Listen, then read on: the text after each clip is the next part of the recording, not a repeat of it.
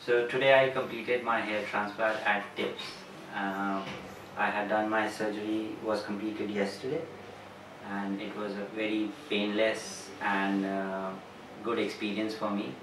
Uh, Dr. Nija and all the staff was pretty friendly and professional. I had no problems at all.